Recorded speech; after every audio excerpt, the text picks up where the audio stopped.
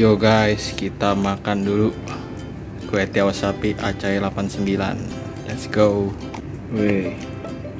Ini tetelannya nih. Tuh. Ini daging sapinya. Mantap. Ini kalau makan sendiri nasi kenyang banget sih. Mantap. Uh. Nggak lengkap nih kalau nggak pakai sambel. Sambelin dulu.